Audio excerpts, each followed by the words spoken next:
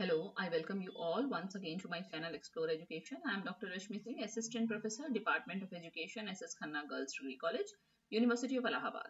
And this time I am going to discuss with you all a very important and relevant topic to you that is globalization and education.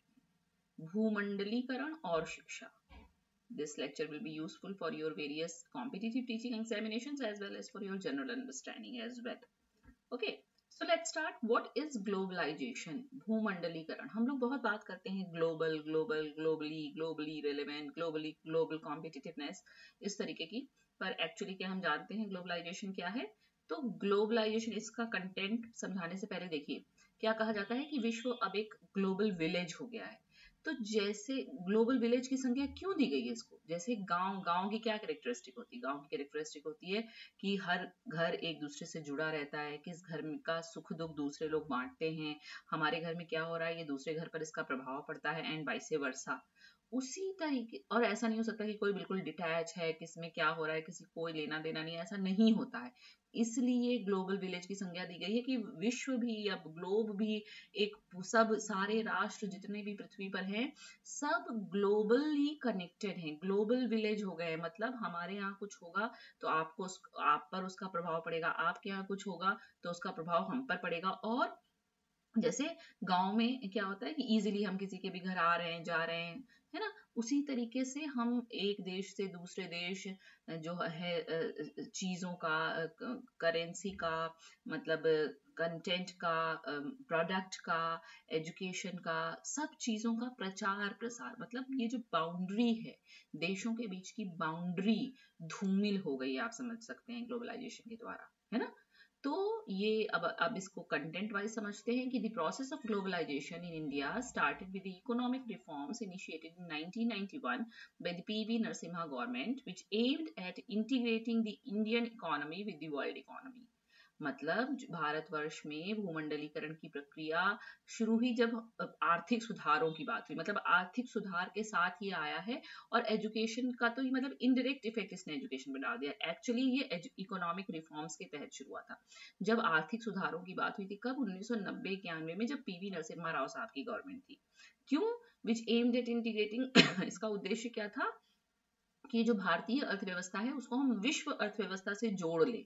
इसके तो कब जोड़ेंगे? जब आप उदार बनेंगे ना, जब आप अपने नियम, कानून थोड़े से लूज करेंगे, ढीले करेंगे, थोड़े लिबरल बनेंगे कि ठीक है, आप हमारे आइए व्यापार कीजिए, हम आपके यहाँ जाते हैं व्यापार करने तो सिर्फ़ व्यापार ही नहीं आया गया, शिक्षा भी आई गई एक जगह से दूसरी जगह। Hmm? So, globalization brings education to the front lines, and at least there are two ways of looking at the effects of globalization. तो इकोनॉमिक रिफॉर्म्स के तहत शिक्षा भी फ्रंट लाइन में आ गई, और दो तरीके हो सकते हैं। हम देखें कि भूमंडलीकरण का शिक्षा पर क्या प्रभाव पड़ा है। पहला ये the first is to what extent education systems are being shaped by globalization मतलब पहला तो हमको ये देखना होगा कि जो शैक्षिक निकाय है हमारा, वो किस सीमा तक भूमंडलीकरण ने उसको आकार दे दिया है मतलब बदला है। और इन prospective terms, what are the changes likely to affect the education system in the coming decades as a result of globalization? या आप कह सकते हैं कि आने वाले दशकों में ग्लोबलाइजेशन के द्वारा शिक्षा में क्या क्या परिवर्तन होंगे likely to affect the कौन से ऐसे परिवर्तन होंगे जो शिक्षक शैक्षिक निकाय को, शैक्षिक तंत्र को प्रभावित करेंगे? एक तो ये चीज़ देखनी है। दूसरी the second is what kind of policy reform should be adopted to address the consequences of globalisation मतलब पहला ये कि ग्लोबलाइजेशन शिक्षा को कैसे बदलेगा? और दूसरा ये कि शैक्षिक मतलब हम कौन सी ऐसी नीतियाँ बना लें, ऐसे नीतिगत सुधार कर लें शिक्षा के मामले में, जिससे कि हम भूमंडलीकरण के जो परिणाम होने वाले हैं उनसे उनको उनको एड्रेस कर पाए मतलब उनको टैकल कर पाए, उनको उनको उनको झेल पाए, उनको अच्छी तरीके से उनसे, उनका सामना कर पाए। ओके? तो भूमंडलीकरण क्या है? लिबरलाइजेशन है। वैसे भी एक साथ एलपीजी पढ़ा जाता था 1990 का ये बहुत इंपॉर्टेंट कंसेप्ट है लिबरलाइजेशन प्राइवेटाइजेशन एंड ग्लोबलाइजेशन मतलब आप लिबरल हो जाइए, उदार हो जाइए प्राइवेट कंपनी को सीन में आने दीजिए और ग्लोबल आप सिर्फ़ देश की बात नहीं करेंगे, आप सबकी बात करेंगे कि हम आदान प्रदान इजीली हो जाए। हम्म फिर कुछ डेफिनेशन देख लेते हैं तो इससे और क्लियर हो जाएगा। हेल्थ ने कहा कि ग्लोबलाइजेशन क्या है? The intensification of world wide social relation वो कह रहे हैं कि जो वैश्विक, जो सामाजिक रिश्ते थे, वो इंटेंसिफाई हो गए। कैसे? Which link distant localities in such a way that local happenings are shaped by events occurring many miles away and vice versa समझ में आई बात? कह रहे हैं कि बहुत दूर कुछ हो रहा है, उसकी लोकल हैपनिंग कैसे शेप की जाती है, वो इवेंट उन घटनाओं के द्वारा जो बहुत मीलों दूर हो रहे हैं। और उसी तरीके से मतलब हमारे यहाँ की घटना मीलों दूर होने वाली घटना से प्रभावित हो सकती है, या मीलों दूर होने वाली घटना हमारे देश की घटना से प्रभावित हो सकती है। आप इसका लेटेस्ट एग्ज़ाम्पल समझ सकते हैं, कैनेडा में क्या हो रहा है। मतलब अगर ग्लोबलाइजेशन नहीं हुआ होता या आप क्या पचास, साठ साल, सौ साल पहले ऐसा सोच सकते थे कनाडा में कुछ होगा तो उसका इंडिया पे प्रभाव पड़ेगा, इंडिया में कुछ होगा उसका इतनी दूर कोई देश है उस पर प्रभाव पड़ेगा, नहीं ना? तो ये ग्लोबलाइजेशन के द्वारा है कि एक मीलों दूर जो प्रदेश हैं, देश हैं, जो भूमि है, जो एरिया है, उसमें कुछ हो रहा है, वो आपको उसी तरह से इफ़ेक्ट करते हैं, जैसे कि एकदम आपके देश के अंदर की बात है, बिल्कुल आपका एकदम लोकेलिटी की बात है, उतना। फिर 1995 में पीटरसे ने इसको बताया कि speaks of globalisation in terms of the ideas that the world is becoming more uniform and standardise वो कह रहे हैं कि आप या तो कह सकते हैं भूमंडलीकरण क्या है कि जो विश्व है, जो संसार है, वो थोड़ा एक समान हो रहा है, थोड़ा स्टैंडर्डाइज्ड हो रहा है। कैसे हो रहा है? Through technological commercial and cultural synchronisation eventually from the west and the globalisation is tied up with modernity आप ऐसे समझ सकते हैं कि देखिए अब फ़िल्में जो हैं, आप बॉलीवुड से कम देख लीजिए इसको, फ़िल्में जो हैं वो वर्ल्ड वाइड रिलीज़ होती हैं। शाहरुख खान की फ़िल्म सिर्फ़ हिंदुस्तान में नहीं पसंद की जाती है ऑल ओवर दी वर्ल्ड पसंद की जाती है। तो ये क्या है? ये भी तो ग्लोबलाइजेशन है। ग्लोबल इमेज है वो ग्लोबल हीरो है ग्लोबल आइकन है वो, है ना? तो आप कह सकते हैं कि मोर और लेस जो भी इस तरीके की सेलिब्रिटीज होती हैं, वो वर्ल्ड वाइड फ़ेमस होती हैं, उनको सब जानते हैं, है ना? तो world is becoming more uniform and standardise किसके थ्रू हो रहा है? हम तकनीकी रूप से, व्यावसायिक रूप से, सांस्कृतिक रूप से एक जैसे होते जा रहे हैं। Synchronisation eventually from the west obviously because वो ज़्यादा डेवलप था तो हमने, आप ये भी कह सकते हैं कि भूमंडलीकरण एक तरीके से क्या है कि हमने आधुनिकता से कुछ पैचअप कर लिया है, वो भूमंडलीकरण। और लूक इसको कैसे डिफाइन कर रहे हैं? Stated that globalisation is how the world is shrinking in the sense that people can communicate with each other instantaneously through the use of technology specially the internet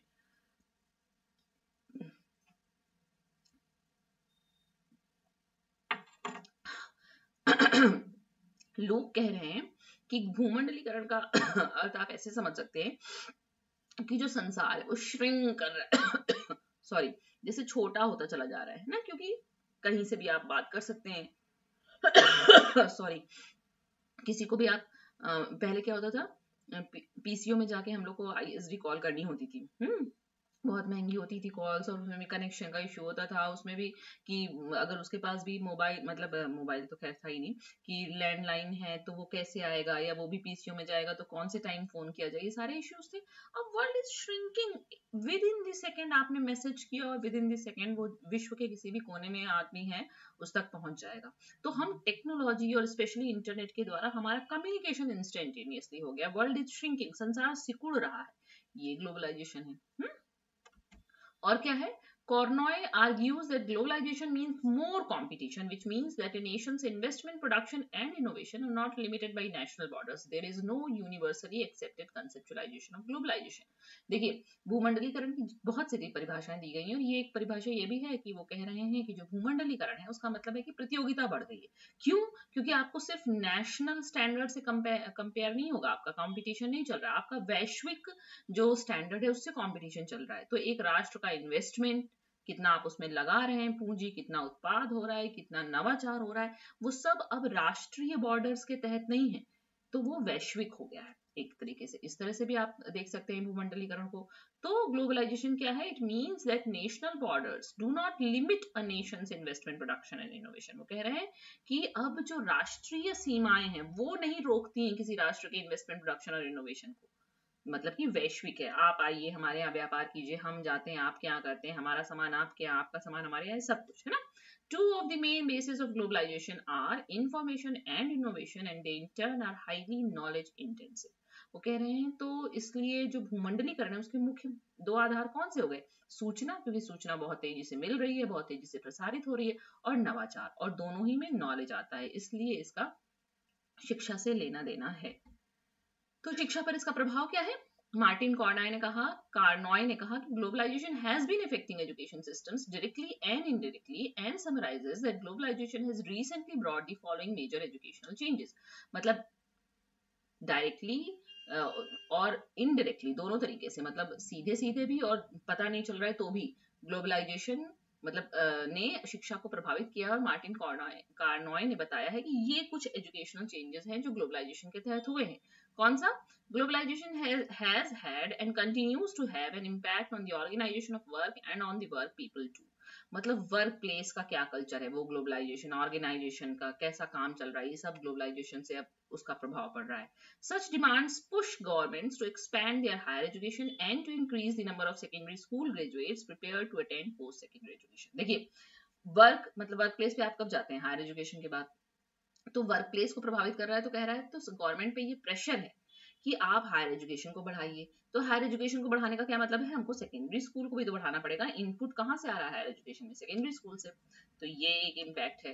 फिर क्या है? Most governments are under greater pressure to increase spending on education to produce a more educated labour force हमको labour force चाहिए, वो भी educated तो government पे ये भी प्रेशर है कि वो एजुकेशन पे और स्पेंड करे ताकि हम और ज़्यादा आउटकम हमारा निकल कर आए। और the quality of education is increasingly being compared internationally. मैंने कहा ना कि अब नेशनल बॉर्डर्स चूँकि टूट गए हैं विश्व के बॉर्डर सब एक दूसरे से मिल गए हैं तो जो शिक्षा की गुणवत्ता है, वो अब राष्ट्रीय स्तर पे नहीं, बल्कि अंतरराष्ट्रीय स्तर पे उसका कंपैरिजन चल रहा है। तुलना हो रही है। There have been greater emphasis on mathematics and science curricula, English as a foreign language and communication skills in school education. यानी कि अब चूँकि आपको बाहर निकलना है तो आपको इंग्लिश आनी चाहिए फॉरेन लैंग्वेज के रूप में क्योंकि विश्व के ज़्यादातर देशों में बोली जाती है। तो इसलिए अंग्रेज़ी पे ज़्यादा बल है साइंस और मैथमेटिक्स पे बल है। क्यों? क्योंकि इनोवेशन कैसे होगा? मैथमेटिक्स और साइंस के बिना होगा नहीं। कम्युनिकेशन स्किल्स आप बहुत ज़्यादा नहीं भी आपके पास कंटेंट है पर कम्युनिकेशन है तो भी काम चल जा रहा है आजकल। हम्म, फिर use of IT such as the use of the internet and CAI is becoming more common in the classroom. इसी तरह से क्लासरूम में इन इंफॉर्मेशन टेक्नोलॉजी की बात हो रही है इंटरनेट की बात हो रही है CAI का मतलब क्या है? कंप्यूटर असिस्टेड इंस्ट्रक्शन की बात हो रही है, ये सब क्लासरूम में ज़्यादा कॉमन हो गए हैं। और रीस्ट्रक्चरिंग हायर एजुकेशन तो जो ग्लोबलाइजेशन है, उसने हायर एजुकेशन को कैसे रीस्ट्रक्चर किया मतलब हमारी हायर एजुकेशन की पुनर्संरचना हो गई है। तो इन्होंने 2003 में आइडेंटिफाई किया कि तीन प्रोसेस हैं। ग्लोबलाइजेशन ऑफ़ इकोनॉमी इकोनॉमी का ही ग्लोबलाइजेशन हो गया है। कॉमोडिफिकेशन ऑफ़ नॉलेज जो कहते नहीं है कि जो आपकी शिक्षा की संस्थाएँ हैं, वो अब बिज़नेस का वो बन गई है मॉडल बन गई हैं, अब उन तो कॉमोडिफिकेशन यानी कि ज्ञान का भी कॉमोडिफिकेशन हो गया है। वो भी एक वस्तु हो गई है व्यापार की, कि कितने फ़ीस देंगे प्राइवेट में जाएँगे तो इतनी फ़ीस लगेगी, और अच्छे कोर्सेज करेंगे तो और फ़ीस बढ़ जाएगी सेल्फ फाइनेंसिंग कोटा और क्या क्या है चीज़ें? ना सब में, सबका डायरेक्ट कॉमोडिफिकेशन ऑफ़ नॉलेज और वेलफेयर स्टेट तो कह रहे हैं कि तीन जो बातें हैं, उन्होंने शिक्षा को हायर एजुकेशन को प्रभावित किया है। तो कैसे कैसे प्रभावित किया? Globalisation leads to the emergence of the knowledge economy अब ज्ञान ही इकोनॉमी है, ज्ञान ही धन है। जितने आप ज्ञानवान हैं, उतने ज़्यादा आप धनी हो सकते हैं। इसी को बाद में ये नॉलेज सोसाइटी का रूप ले लिया इसने। In which the importance of information technology and knowledge management is coming to outweigh that of capital and labour यानी कि नॉलेज मैनेजमेंट है। अगर आपके पास आईटी की नॉलेज है नॉलेज है आपके पास तो वो पूंजी और श्रम की जो महत्ता है, उसको भी आउटवे कर दिया। मतलब उससे ज़्यादा प्रभाव अब किसका है? ज्ञान का है। The impact of these forces on the change to higher education is manifest in the drastic restructuring of higher education systems. यानी कि अब हमारा जो उच्च शिक्षा का निकाय है, उसमें बहुत ड्रास्टिक रूप से चेंज हो गया है। वो पूरी तरीके से बदल गई है स्ट्रक्चर उसका बदल गया है। इन विच वैल्यूज़ सच एज तो अब किन मूल्यों को महत्ता दी जाती है? कॉम्पिटिटिवनेस कितना आप कॉम्पिटिटिवनेस है, कितना आप आगे वाले से आगे निकल सकते हैं, बेहतर कर सकते हैं। अकाउंटेबिलिटी आपकी जवाबदेही बनेगी। Value for money value for money money के बिना तो कुछ होना ही नहीं है। कॉस्ट इफेक्टिवनेस कि मतलब हम कितना दे रहे हैं और कितना आउटकम मिल रहा है। अगर हम इतनी फ़ीस देने पे ये कोर्स कर रहे हैं, इसका कोई आउटकम नहीं तो ये कोर्स मत कीजिए, वो कोर्स कीजिए जिसका आउटकम है।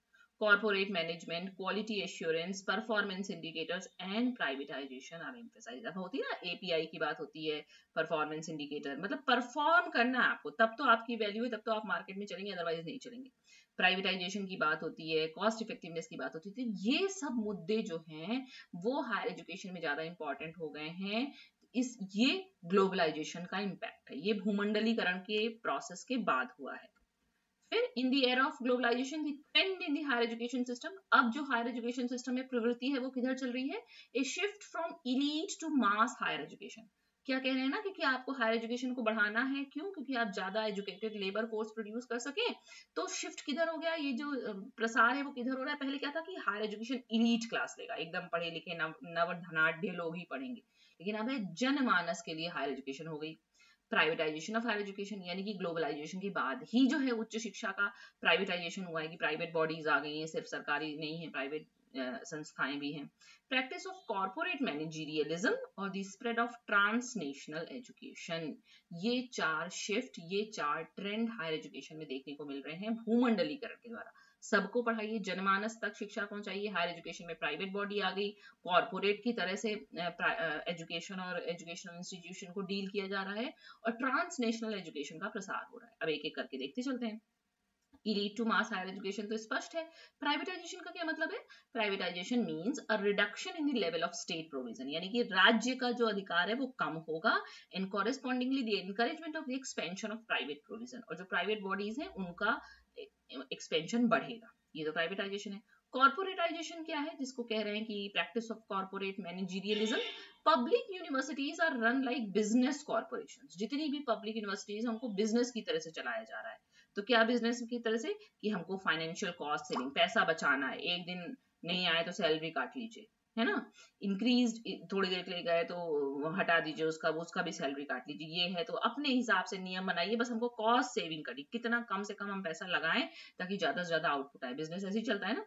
फिर increased administrative efficiencies and retaining academic staff through the offering of competitive market remunerations हम इतना दे रहे हैं, वो इतना दे रहे हैं अच्छा आप उनसे, आपसे कम लेने वाला कोई मिल रहा है तो आप ज़्यादा भले काबिल हैं, आपको नहीं रखेंगे, उसको ले लेंगे, जो कम पैसे में मान जाए, पढ़ाने के लिए तैयार हो जाए। हम्म फिर यूनी अब ट्रांसनेशनल एजुकेशन की बात कर लेते हैं। A unique feature of the rapid expansion of private higher education is emergence of offshore programmes that are offered by foreign universities जैसे मान लीजिए कि यूनिवर्सिटीज uh, का एक्सचेंज चल रहा है फैकल्टी का एक्सचेंज चल रहा है स्टूडेंट का एक्सचेंज चल रहा है। तो हार्वर्ड यूनिवर्सिटी है। वो आके अपना सेंटर यहाँ मतलब अलग से हार्वर्ड यूनिवर्सिटी की ब्रांच नहीं खोली उसने ऑफशोर प्रोग्राम शुरू कर दिया। मतलब कि इलाहाबाद यूनिवर्सिटी के ही किसी में उसने हार्वर्ड यूनिवर्सिटी का भी सेंटर चला दिया कि सेंटर फॉर मान लीजिए लैंग्वेजेस स्टडीज़ या कोई सा भी सेंटर तो तो the emergence of foreign linked programme तो वो डिग्री तो हमको वहीं की मिलेगी। तो ये जो फॉरेन लिंक प्रोग्राम है, ये एक तरीके से ट्रांसनेशनल ट्रांस मतलब ये जो बाउंड्री थी नेशन की, वो दूर हो गई है। तो एक तरीके से ट्रांसनेशनल एजुकेशन का ट्रेंड आ गया है which means that there is a growing volume of higher education being delivered across national boundaries हम यहाँ रहते हुए भी किसी भी देश की डिग्री हासिल कर सकते हैं, अगर हमको कोई ऑफशोर प्रोग्राम मिल गया तो इस तरीके का। A rapid expansion in higher education may inevitably lead to a fall in graduates average academic standards and performance तो इससे क्या हुआ कि गिर गया है graduates का performance गिर गया है लेकिन सब कुछ तो आ, किस हिसाब से चल रहा है कॉर्पोरेट तो उनको ग्रेजुएट के परफॉर्मेंस से मतलब नहीं उनको कॉस्ट सेविंग से मतलब है ठीक है अब role of globalisation on higher education तो ग्लोबलाइजेशन ने हायर एजुकेशन को कैसे प्रभावित किया कि अब ग्लोबलाइजेशन ने शिक्षा का क्या किया? Wider and broader educational opportunities अब हमारे पास बहुत सारे अवसर हैं। हमको यहाँ नहीं मिल रही है नौकरी, हम बाहर चले जाएँगे। हम यहाँ नहीं पीएचडी कर पा रहे बाहर से कर लेंगे। किसी और देश से, कहीं और का कोई प्रोग्राम मिल जाए हमको, है ना? स्टूडेंट मोबिलिटी इसका मोस्ट विजिबल एस्पेक्ट है, जो सबसे ज़्यादा दिखाई दे रहा है। इतने ज़्यादा बच्चे स्टूडेंट कभी नहीं बाहर पढ़ने, पढ़ाने जाते थे। फिर the rise of a global society तो अब क्या है? सोसाइटी ग्लोबल है। Driven by technology and communication developments इसमें संचार बस आपको आना चाहिए। जिस भी देश में आप जा रहे हैं, वहाँ की भाषा का ज्ञान हो टेक्नोलॉजी का ज्ञान हो, आप चले जाइए। Future citizen of the world into global citizen तो अब हम वैश्विक नागरिक हैं। विश्व के नागरिक हैं। ज़रूरी नहीं यहाँ के नागरिक, वहाँ के नागरिक। मोर और सब समान है और हमको तैयार होना है ग्लोबल सिटीजन के रूप में। तो कॉम्पिटिटिव इंफॉर्मेशन बेस्ड सोसाइटी अब बन गई। तो चेंज क्या क्या हुआ है? नेचर ऑफ़ लर्निंग बदल गई है। क्या सीखना है, उसकी प्रकृति बदल गई है, कैसे सिखाया जाएगा वो बदल गया हायर एजुकेशन का करिकुलम भी बदल गया इसीलिए क्रॉस बॉर्डर मोबिलिटी यानी कि आप बॉर्डर के थ्रू भी जा सकते हैं। वेल क्वालिफाइड और ट्रेन टीचर से हमको पढ़वाना होगा, तभी तो वो हाईटेक पढ़ा पाएँगे, आपको नया नया जो भी रेलिवेंट है, और यूज़ ऑफ़ आईसीटी आईसीटी के बिना तो कुछ हो ही नहीं सकता। इन्फॉर्मेशन एंड कम्युनिकेशन टेक्नोलॉजी आप जितना ज़्यादा यूज़ करेंगे, उतना ज़्यादा आप ग्लोबली तैयार हो सकेंगे। फिर तो आप देखते हैं कि पॉजिटिव इम्पैक्ट क्या है ग्लोबलाइजेशन का शिक्षा पे। तो पॉजिटिव इम्पैक्ट ये है मतलब धन मतलब इससे धनात्मक हमको क्या लाभ है, हमसे प्लस पॉइंट्स क्या है ग्लोबलाइजेशन के। Exchange of scholars will be encouraged है ना? बहुत ज़्यादा आप reputed scholars in respective countries हम किसी भी देश में, किसी रेप्यूटेड इंस्टीट्यूशन में जाकर पढ़ सकते हैं। तो ये इंकरेज हो गया है कि एक्सचेंज ऑफ़ स्कॉलर्स पहले नहीं था। Globalisation students can get up to date information अब जो है बच्चा वो उसको अप टू डेट इन्फॉर्मेशन मिल जाती है। Information is so readily readily available है the press of a button never before इससे पहले कभी हमको गूगल पे क्लिक करने से सारी इन्फॉर्मेशन नहीं मिलती थी। ये लाभ है। और इफिशियंसी बढ़ गई है। है ना? ये सारी बातें। और इंटरनेशनल अंडरस्टैंडिंग बढ़ गया है कोलेबोरेशन बढ़ गया हारमोनी बढ़ गई। कल्चरल डाइवर्सिटी का एक्सेप्टेंस हो गया है। यानी कि जो सांस्कृतिक विविधता है, उसको हमको स्वीकार करना पड़ेगा। तभी तो जाएँगे दूसरे यहाँ या दूसरा हमारे यहाँ आएगा। और at different levels among countries, globalization facilitates communication and interactions and encourages multicultural contributions, more or less एक ही जैसा। और ग्लोबलाइजेशन ने क्या किया है? Boundaries of space and town को ब्रेक कर दिया है। कोई बाउंड्री नहीं है। कहीं आइए, कहीं जाइए, बस आप आईसीटी यूज़ कीजिए, हैं? New systems of knowledge, education and learning should apply a wide range of synchronous and asynchronous activities that aid teachers and students in breaking boundaries of space and time. इसका मतलब समझे ना कि आपको किसी का लेक्चर लाइव लेक्चर सुनना है तो वो तो वहाँ पे दिन है अमेरिका में मान लीजिए यहाँ रात है आप तो सो रहे हैं रात के दो बजे लेक्चर वहाँ के दिन के दो बजे लेक्चर हो रहा है तो वो रिकॉर्डेड सेशन आपको भेज देंगे आप उसको एसिंक्रोनस मोड में सुन लीजिए ये सब लाभ है स्पेस और टाइम की बाउंड्री हट गई है कोई आप कहीं भी हो, हम कहीं भी हो, समय कभी भी हो, हमारा कनेक्शन हो जाएगा, हमारी बातचीत हो जाएगी, हमारा कम्युनिकेशन हो जाएगा। ये किया है इंटरनेट ने आईसीटी ने। ओके और कुछ नेगेटिव इम्पैक्ट्स भी हैं। जैसे इतनी सुविधा इतनी सुविधा इतनी सुविधा, लेकिन मिलेगी किसको? वो जिसके पास डिजिटल टेक्नोलॉजी हो, जिसके पास डिजिटल स्किल हो, जिसके पास ज़्यादा पैसा हो, वही तो प्राइवेट में और बढ़िया जगह पढ़ पाएगा, बाकी तो नहीं पढ़ पाएगा। हुँ? तो increasing the division between technological and digital gaps between advanced and less advanced countries तो डिजिटल गैप और टेक्नोलॉजिकल गैप और बढ़ गया है तो ये दिक्कत है। Creating more legitimate opportunities for a few advance countries for a new form of colonisation of developing countries अच्छा ये कह रहे हैं कि जो एडवांस कंट्रीज़ हैं, उनको ये एक लेजिटिमेट अपॉर्चुनिटी वैधानिक अवसर मिल गया कि वो क्या करें? जो डेवलपिंग कंट्रीज़ हैं, उनके पास तो इतनी सुविधा नहीं तो वहाँ जाके फिर से वो कोलोनाइजेशन शुरू कर सकते हैं, ऐसा भी हो सकता है। Increasing inequalities and conflict between areas and cultures तो असमानता बढ़ेगी इससे, समानता नहीं बढ़ेगी, असमानता बढ़ेगी। जिसके पास ज़्यादा है उसके पास ज़्यादा सुविधा है, वो ज़्यादा उन्नत है। जिसके पास कम है उसके पास सुविधा ही नहीं है तो वो लाभ ही नहीं उठा सकता है तो वो और कमतर होता जाएगा। और promoting the dominant cultures and values of some advance areas तो इससे होगा क्या कि जो डोमिनेंट कल्चर है, वो ज़्यादा प्रभावी हो जाएगा। जो छोटे कल्चर है, जो जिनके पास कम है पैसा, रुपया, सुविधा, वो खत्म हो जाएँगे धीरे धीरे। तो ग्लोबलाइजेशन ने कुछ चैलेंजेस हायर एजुकेशन या एजुकेशन के लिए इन जनरल पैदा किए हैं। कौन कौन से? फैकल्टी शॉर्टेज ज़्यादा बच्चे चाहिए, ज़्यादा इंस्टीट्यूशन चाहिए तो ज़्यादा शिक्षक भी चाहिए, जो कि कम है। क्वालिटी ऑफ़ एजुकेशन अब आप चाहें कि बस ऐसे पढ़ा देंगे तो काम नहीं चलेगा, आपको बहुत बढ़िया क्वालिटी रखनी पड़ेगी। क्यों? क्योंकि कंपटीशन तो इंटरनेशनल यूनिवर्सिटी से है और इंसेंटिव स्ट्रक्चर आपको उसी हिसाब से रखना पड़ेगा एट पार तो ये सारी दिक्कतें भूमंडलीकरण ने शिक्षा व्यवस्था पर डाली हैं, बाकी लाभ भी हैं। तो कोई भी चीज़, हर चीज़, हर हर कंसेप्ट के लाभ, हानि दोनों होते हैं तो ये भूमंडलीकरण का है। तो ये एक कंसेप्ट है भूमंडलीकरण। शिक्षा, कैसे भूमंडलीकरण आया, शिक्षा पर उसने क्या प्रभाव डाला, क्या प्लस पॉइंट है, क्या माइनस पॉइंट है। Okay so thank you and don't forget to like and subscribe my channel explore education I done from my side